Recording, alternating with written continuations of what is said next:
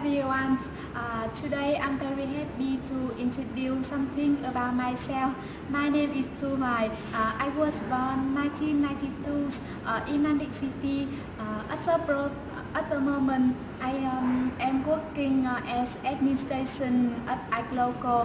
Uh, I have become a member of Glocal families since August last year although it is not a long time, uh, about 10 months, uh, I have learned a lot of experience and knowledge for myself. Uh, the experience that I think not only applies uh, to the present life, uh, but also uh, for future letters. in addition to this, I have changed to make friends with a lot of lovely friends.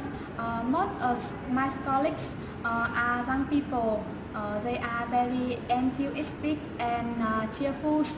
Uh, I would like to say about uh, some my hobby. This is listen to music, watch entertainment program on TV, going out with my friends.